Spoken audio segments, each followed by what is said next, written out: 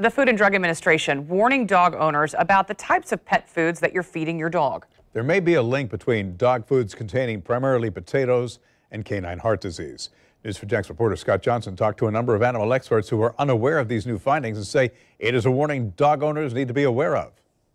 The recent news from the FDA was in fact new to Dr. Craig Sandler, a veterinarian at the Lakewood Animal Clinic. This is new. I've never heard this before. This is a relatively new thing. Now, I was doing some reading about it. The FDA is warning that potato based pet foods may be causing heart disease in dogs. The investigation began after pet foods with peas, lentils, potatoes, and other legumes showed a potential link to something called canine dilated cardiomyopathy. Dr. Sandler says the findings still need more study.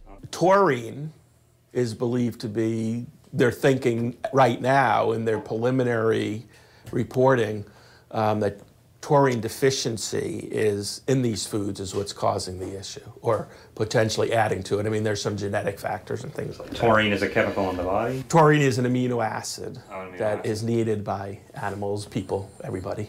I talked to numerous dog owners at Dogwood Park on the south side.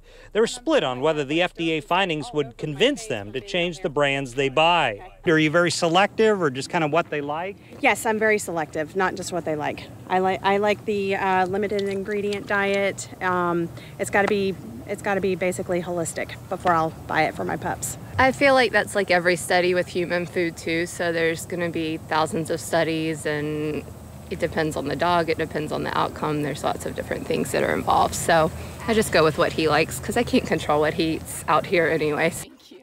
So the uh, pet food manufacturers and veterinary community are now in contact with the FDA to talk about this issue as they will probably be learning more in coming months. Scott Johnson, Channel 4, the local station.